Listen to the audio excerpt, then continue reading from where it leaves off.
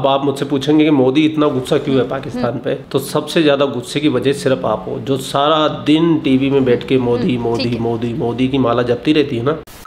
मौजूदा जो इलाके सूरत हाल है उसके पाकिस्तान पर क्या असरात हो सकते हैं? इस पर बात करने के लिए हमारे साथ प्रोग्राम में मौजूद अकवा मुतहदा में पाकिस्तान के मुस्तकिल मंदूब मुनीर अक्रम साहब किसी तारुफ के मोहताज ने बहुत शुक्रिया सर आपका ज्वाइन करने के लिए। मुनीर साहब जब पाकिस्तान मुकम्मल सबूत दे रहा है कि पाकिस्तान के शहर लाहौर में जो बम धमाका है इसके मुल- है इसके मुलजिमान की सहूलतकारी में भारत की एजेंसी रो मुलविस है। तो फिर सवाल ये आता है जहनों में मुनीर साहब के फिर क्यों आलमी इदारे भारत से जवाब तलबी नहीं करते हैं? तो सबसे पहले तो फिजा खलीफा जी आपको जय श्री राम। अब बात करते हैं हम मसले की। डॉक्टर फिजा भारत हमारा रियायती हरीफ है। हमको ये बात हमेशा याद रखनी चाहिए। वो हमारे खिलाफ साजिशें करता रहेगा। लेकिन जब तक भारत को तुम मुँह तोड़ जवाब नहीं दोगे तब तक भारत ऐसी हरकतें करता रहेगा। कभी लाहौर में बम ब्लास्ट करेगा कभी पेशावर में करेगा कभी इस्लामाबाद में करेगा। ठीक है। ये भारत की पुरानी चाल रही है लेकिन इसमें कमी हमारी भी है। हम कभी दुनिया के सामने प्रूफ नहीं कर पाते हैं कि इसमें राह की साजिश है कि इसमें भारत मुलब्बिस है ये मोहब्बत में किया जा रहा होता है। हमारे यहाँ तो कोई बच्चा भी हो जाता है उसमें भी मोदी का हाथ होता है लेकिन कोई सबूत नहीं होता तो हम लोग कुछ नहीं कर पाते।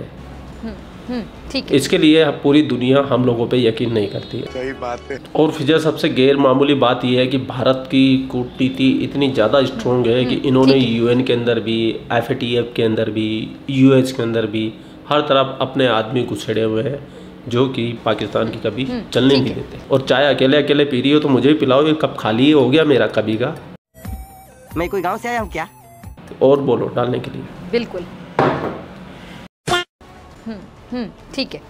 अच्छा तो मुनीर साहब जो लोग वहाँ बैठे हुए हैं जो उनको बाकायदा सपोर्ट करते हैं वीटो के तहत तो फिर इस तरह तो ये मामला यहीं पे लटके रहेंगे? यानी पाकिस्तान सबूत भी देता रहेगा पाकिस्तान शवाहिद भी देता रहेगा पाकिस्तान जो सबूत के साथ बात करेगा डेफिनेटली उसकी पोजीशन स्ट्रांग होगी पावरफुल होगी लेकिन इसके बावजूद जो पावर है वो उनकी तरफ़ चली जाती है क्योंकि उनके वहाँ दोस्त बैठे हुए उनको सपोर्ट करने वाले वहाँ पे बैठे हुए हैं। यानी इंसाफ के लिए तो फिर इदारे काम नहीं कर रहे ना ये? जी जी जी मैं वही बात बोल रहा था फिजा खलीफा जी आपको कि भारत के लोग वहाँ पे है। भारत ने अपनी डिप्लोमेसी से हर जगह अपने आदमी तैनात कर दिए जो कि पाकिस्तान की कहीं चलने नहीं देते। हम लोग इतने सबूत देते हैं लेकिन हमारे सबूत हमेशा डिनाई कर दिए जाते हैं। इसमें सारी रो की साजिश नहीं होती। हम लोग हर बार कहते हैं रो की साजिश रो की साजिश ये रो की साजिश नहीं होती ये मोदी की साजिश होती है। मोदी पाकिस्तान को बर्बाद कर देना चाहता है। मोदी पाकिस्तान को तहस नहस कर देना चाहता है। मोदी हमें नाक रगड़वाना चाहता है। फिजा जी अब आप मुझसे पूछेंगे कि मोदी इतना गुस्सा क्यों है पाकिस्तान पे? तो सबसे ज़्यादा गुस्से की वजह सिर्फ़ आप हो जो सारा दिन टीवी में बैठ के मोदी मोदी मोदी मोदी की माला जपती रहती है ना? जितनी बार ये अल्लाह अल्लाह अल्लाह अल्लाह नहीं बोलती होगी उससे ज़्यादा ये मोदी मोदी करती है।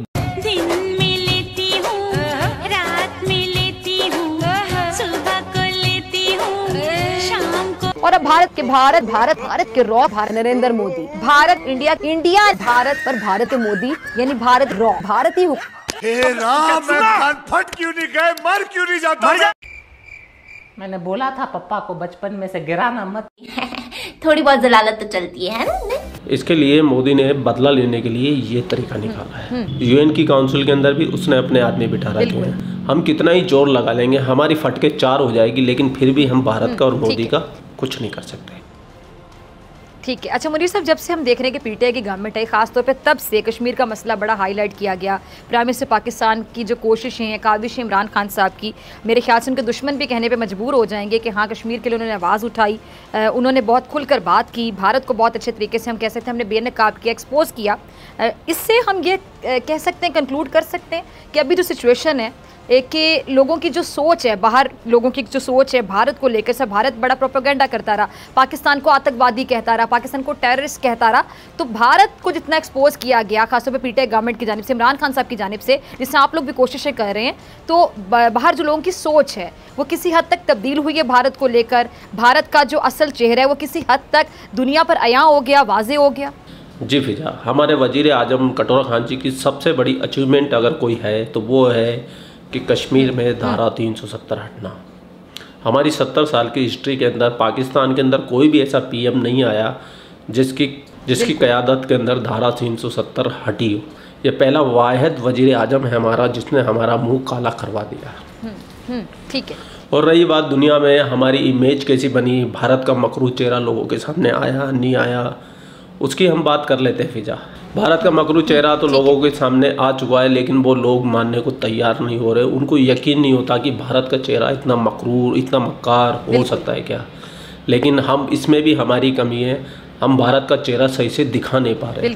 और जो भारत हम पे बार बार ये आरोप लगाता रहा है कि तुम आतंकवादी कंट्री हो वो सही लगाते हैं यार वो गलत नहीं लगाते फिजा। हम्म ठीक है। और वो भारत वाले बिल्कुल सही आरोप लगाते हैं हमारे पास आतंकवादी है। हमारे पास दाऊद इब्राहिम है और बताइए अब बिन लादेन कहाँ मिला? हमारे घर पे मिला एटवाबाद के अंदर आराम से अपनी बीवियों के साथ अयाशी कर रहा था। क्या ज़रूरत थी उसको लादेन को यहाँ पाकिस्तान में आके मरने की? कहीं और जाके मर जाता। इतना बड़ा आतंकवादी अगर हमारे देश में मिलेगा तो लोग हमें आतंकवादी बोलेंगे। हाफिज सईद जो समाज सेवी बन के घूमता है समाज में कलंक के नाम के ऊपर घूमता है वो तो फिजा हमको हमारा हमारा चेहरा देखने की ज़रूरत है हमें।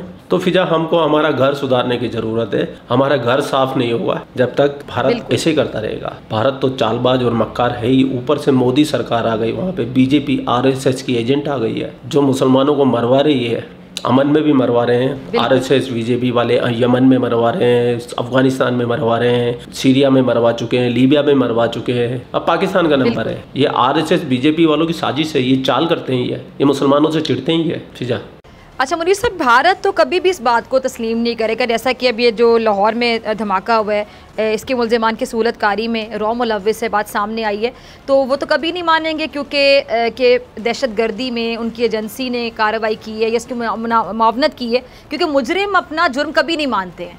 फिर ऐसे में पाकिस्तान को मजीद क्या करना चाहिए? ऐसे हालात में बेहतर यही है कि वक्त रहते इंसान सतर्क होकर अपने जज्बात को काबू में रखकर अपने कदम पीछे हटा ले। और अपनी ज़िंदगी को एक नई दिशा की तरफ़ मोड़ने की तो दोस्तों, डॉक्टर फिजा खलीफा ने आपके भाई को इंटरव्यू पे बुलाया था।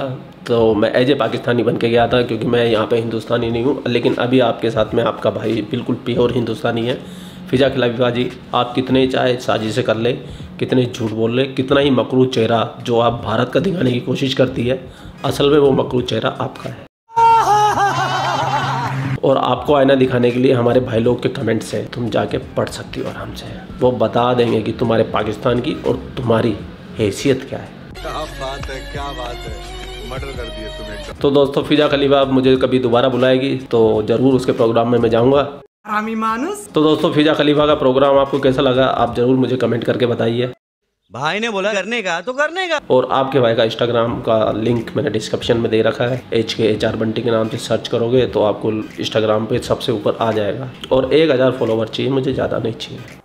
चल झूठा। आप लोग अपना ख्याल रखिए आपका भाई आपके लिए पाक मीडिया से रिलेटेड वीडियो लाता रहता है। जय हिंद वंदे मातरम जय श्री राम जय श्री राम जय श्री राम।